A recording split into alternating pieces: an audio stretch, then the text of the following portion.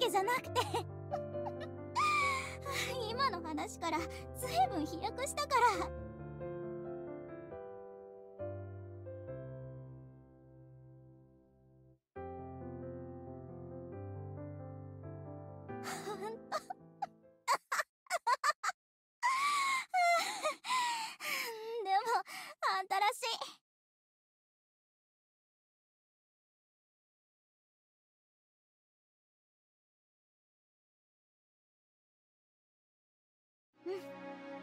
私はいいと思うよ。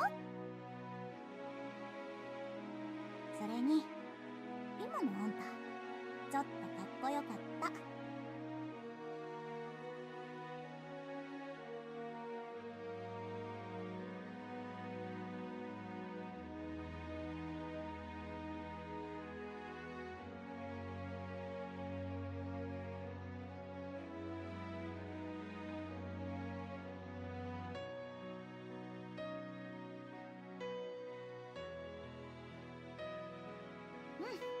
頑張れ。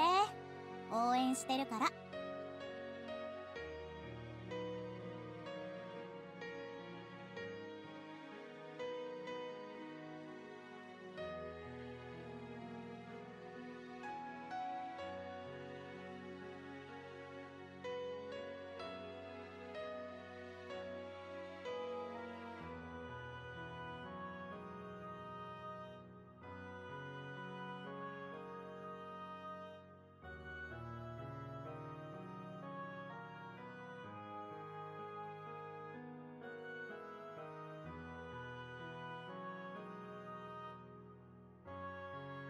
ちゃんと彼女できたら私にも紹介してよ。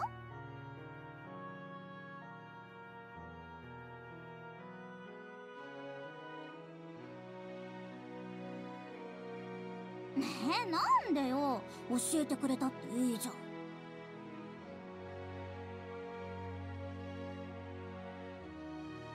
彼女さんに昔のあんたの武勇伝聞かせて盛り上がるからさ。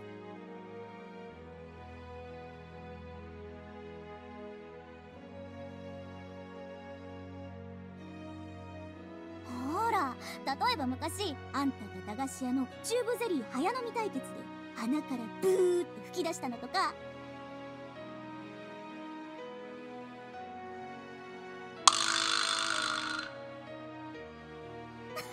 あとは他にも。